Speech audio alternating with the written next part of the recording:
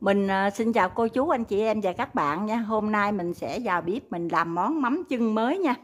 nha. Ở đây là có xả, ớt. Mình đã băm nhuyễn rồi.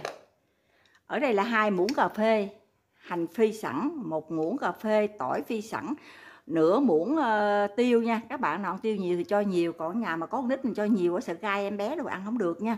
Ở đây là muỗng một muỗng cà phê bột niêm, một muỗng rưỡi cà phê đường ở đây là nấm mèo nấm mèo mình cũng ngâm mà mình trụng qua nước sôi rồi cho nó cho nó sạch sẽ cho nó bán đi cái mùi hôi nha. Đây là 100 gram à, nấm à, bào ngư. Còn cái này thì mình lấy đại các bạn tại vì mình không có cân mini nhỏ đó.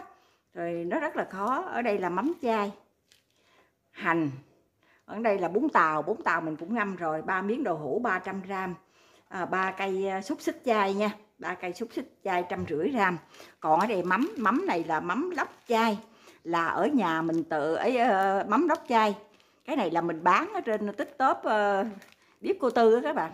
Các bạn mà vô giỏ hàng uh, trưng bày bếp cô tư thì các bạn sẽ thấy nha mắm này ăn 100% y như mắm mặn không khác miếng nào hết. Nhưng mà nó rất ngon nó ngọt ngọt nó mặn mặn nó rất là vừa ăn. Nếu cô chú anh chị em nào mà uh, có thích ăn mắm chưng á thì các bạn mua cái mắm cá lóc chai này về mình chưng ăn cũng được mình chiên ăn cũng được mình kho khô ăn cũng được. Mình làm cái gì ăn cũng ngon hết nha nó rất là ngon nó rất là vừa ăn luôn. Bây giờ mình sẽ lấy ra mình cho vào cái ờ, thao nha. Bây giờ mình đây cái này để ăn rất là lâu. Các bạn để ở ngoài một tháng cũng không hư nha. À, co bỏ vô tủ lạnh khi mà ờ, cô chú anh chị em mà bỏ vô trôi vào tủ lạnh á mà thấy mà thấy nó để lâu quá, một, hai, ba tháng mà thấy nó móc móc á, thì không phải là móc đâu nha. Tại vì khi mình cho vô á, thì mình phải áo dầu áo dầu cho những con mắm này nó sẽ không dính vô bọc. Mà khi mình cho vào ngăn mát tủ lạnh thì đương nhiên cái dầu này để lâu nó sẽ ờ, đóng lại, nó đóng để đục đục mò đục đục ờ, đục đục đó các bạn. Đục mò vậy đó, y như là mở ờ, mỡ hoặc là móc vậy nha. Y là móc vậy nhưng mà không phải móc nha. Nè, cái chưa tôi thấy à mình vẽ rồi nè.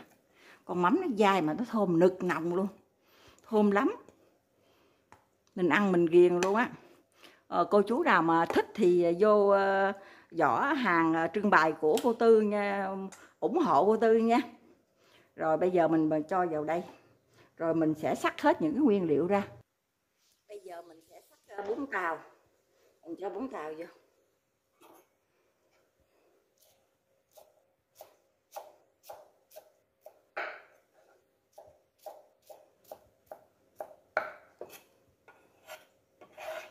Mình cho vào mắm luôn. Một lát mình mang bao tay mình nhồi. Khi trước khi mình làm tay rồi mình cũng rửa sạch hết rồi nha. Cô chú đừng ngại. Ở nhà mình làm mà ăn thấy còn bao mang bao tay chứ nhiều khi nó nó rất là khó làm.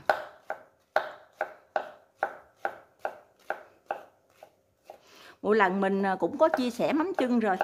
Nhưng mà có cái mình à, không có uh, cho vào xả ớt hôm nay mình làm cách mới cho vào xả ớt cho nó thơm, nó ngon cái mắm của mình. Cái vị nó lạ, nó đặc biệt nha. Mình băm nhỏ ra.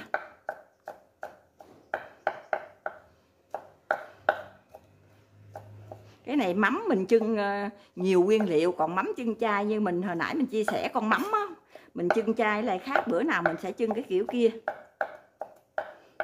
Bữa nay mình làm mắm chưng này. Ăn cơm ngon lắm, kèm với dưa leo cũng ngon nha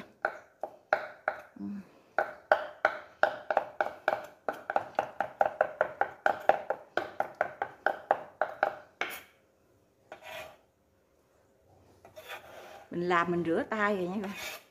Khi thớt cây các bạn biết không, làm nó hai bị vậy này, nó nó không phải dơ mà tại nó ướt á. Bạn nào mà có xài sớt cây qua thì sẽ biết sẽ biết mình nói nói nói không có xạo. Tại thớt cây nó dễ hơn đủ dính miếng nước á, cái nó xấu lắm nhìn như không được sạch sẽ vậy đó. Bạn nào mà, gia đình nào mà còn sức xài sức cây thì sẽ biết à. sẽ hiểu.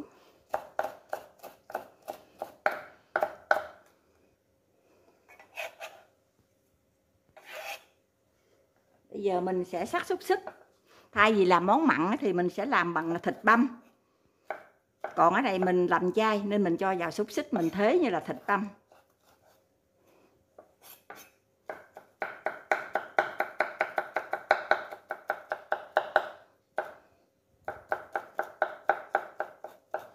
Này mình mua trong mấy cửa hàng chai đều có nha các bạn.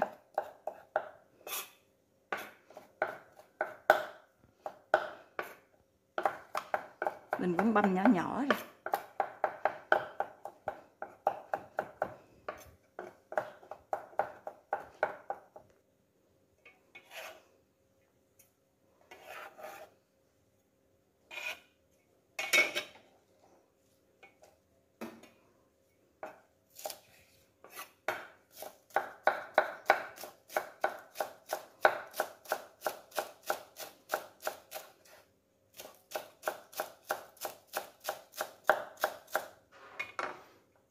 Bây giờ đậu hũ mình dắt mình cho vào đây. Bây giờ mình cho đậu hũ mình à, đã dắt ờ, khô rồi nha. Bây giờ mình sẽ nhồi. Mình cho vào đây. Nhồi chút xíu đi.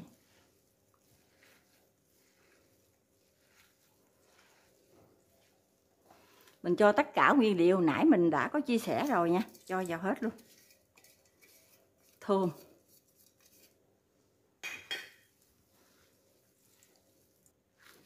Thơm quá các bạn ơi. Mình không có nói dốc đâu. Cái mắm này nó rất là thơm ngon luôn. Cô chú anh chị em cứ mua về mình làm mắm chưng mình chấm rau luộc hoặc chấm uh, đậu rồng hoặc là dưa leo đồ cũng ngon nha. Rau sống đồ. Ngon lắm. Còn mình làm mắm gì nó thơm. Không khác gì cái mắm mặn. Không khác gì mà mắm cá lóc mặn hết á. Cô chú anh chị em cứ mua uh, về ăn thử nha tham khảo mình có bán ở trên bếp cô tư á giỏ hàng shop bếp cô tư. Hàng trưng bày các bạn. Ủng hộ mình nha. Ngon quá. Mình chia sẻ là chia sẻ thật là à, thiệt tình chứ không có ờ, xảo trá cái gì trong đây chút xíu nào hết trơn. Ừ, nhầu dạng lắc lấy thấy dẻo dẻo. Còn bây giờ mình để để cho nó thấm nha. Mình sẽ đi ờ, xào xả cho nó thơm mình không có làm tỏi sống xả sống mà mình làm bằng xả chín nha. Phi lên cho nó thơm, ngon quá, thơm quá. Mình sẽ cho vào đây một miếng dầu ăn để mình xào xả.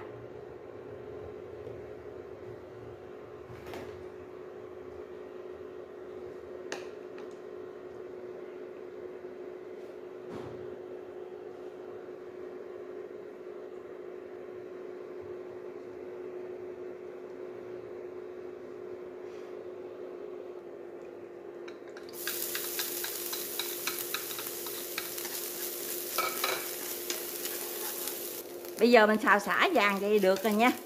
Mình sẽ cho vào cái thau mắm.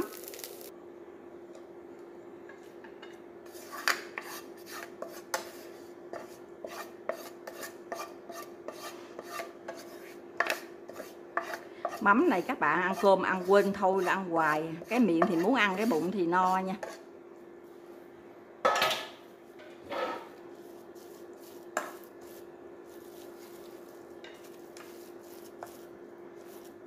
Thơm quá thơm để mình lấy cái tay mình làm cho nó đều nha các bạn. Lấy cái tay đi.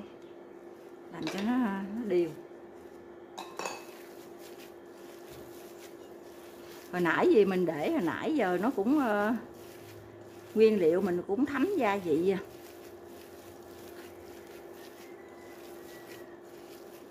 thơm quá thơm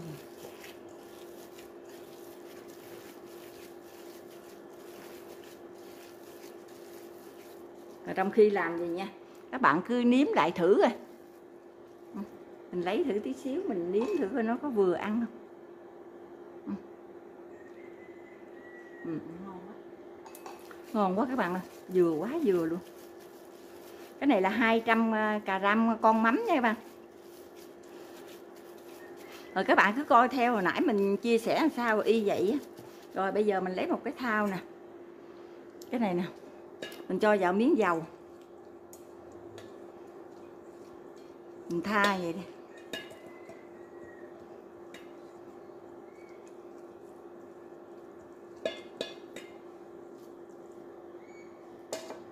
Rồi mình cho mắm vào.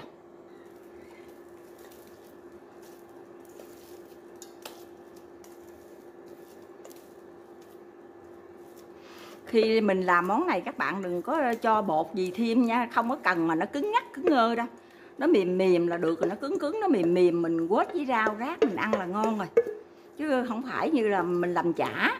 Làm chả phải cho nó dẻ giặt rồi mình thi, mình sợ nó không cứng á, mình thêm bột, còn này là làm mắm chân nên không phải cần như vậy.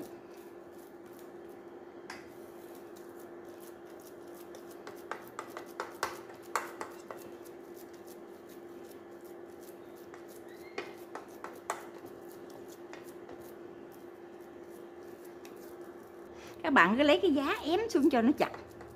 Nếu gì nó dính á mình tha tí xíu dầu.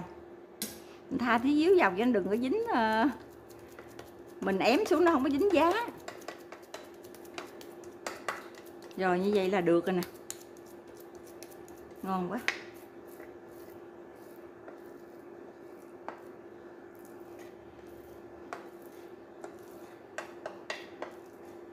Nếu các bạn nào mà ăn chay mà còn ăn hột gà khi mình trộn mắm vậy có thể mình lấy cái trồng trắng hột gà mình trộn chung còn cái trồng đỏ một lát nữa mình cho lên mặt. Còn mình ăn chay mà không có um, à, ăn uh, hột gà thì một lát nữa là mình làm bằng màu dầu điều nha.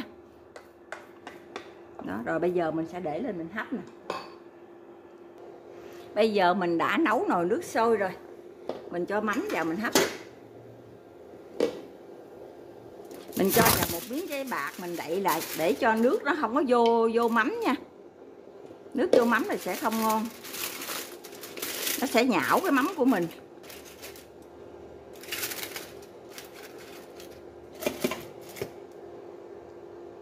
Bây giờ mình đương hấp mắm mình cho vào đây một chút xíu, bột năng nha. Bột năng, bột bắp, bột gạo gì cũng được á.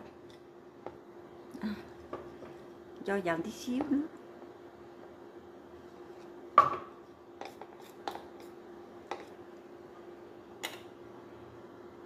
Mình cho vào đây chút xíu dầu điều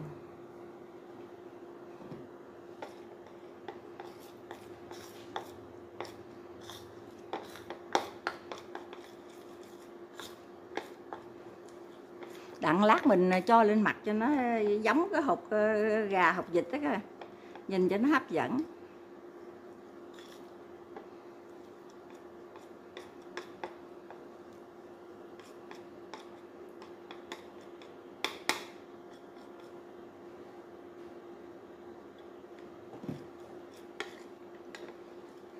Rồi, mình để đây chừng nào chín rồi mình ờ, sẽ tha lên. Sau 15 ờ, sau thời gian 15 phút mình hấp bây giờ chín rồi nha các bạn. Nếu các bạn thử, nếu mà sợ chưa chín á, thì mình cứ xôm vậy nè. Lấy ra, nó không có dính nửa đũa nữa là nó sẽ thành công nha. Bây giờ mình cho ờ,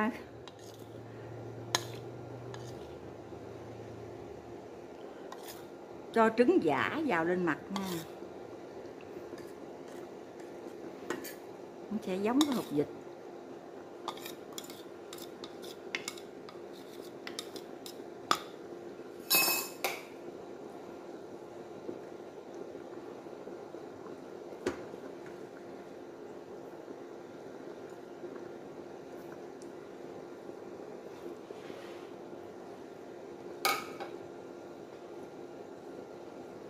Rồi các bạn nhìn thấy ngon ha? Bây giờ mình để đây khoảng chừng 5 phút nữa rồi mình sẽ ờ, nhắc xuống nha. Cho bột trên mặt nó chín. Bây giờ mắm của mình đã chín rồi, các mình cũng để nguội rồi nha.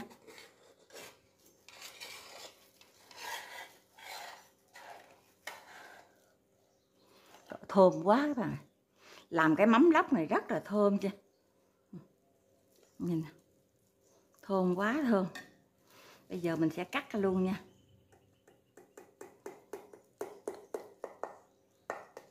Thơm lắm.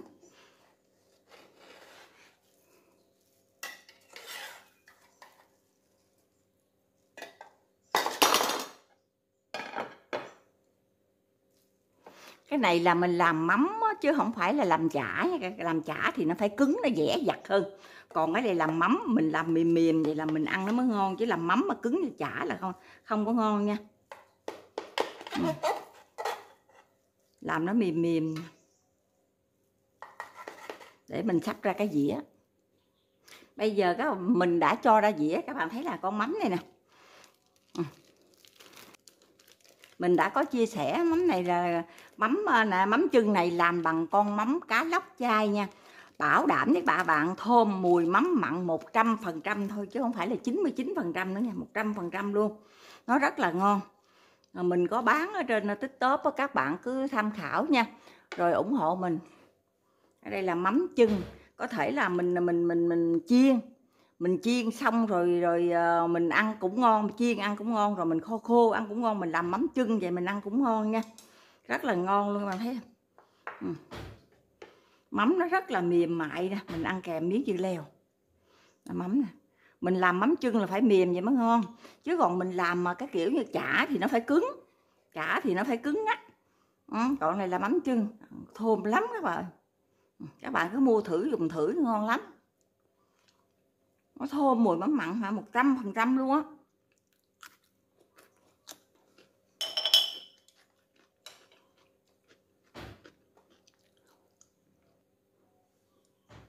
Ờ, thôi bây giờ mình xin chào nha. Chúc cô chú làm món này ăn ngon miệng nha. À, mình cũng mong cô chú ủng hộ mình nha. Mình bán những món chay trên uh, giỏ hàng uh, bếp cô tư shop á là trên 100 món nha. Các bạn vô chọn những cái món nào thích thì mình vô mình chọn, mình mua về dùng thử. Nếu ngon sau này mua nữa nha. Cái này là mình mình ờ, chọn lựa những, chọn lựa những món ăn là sạch, thực phẩm bảo quản. Không có chất bảo quản, không có gì hết nha.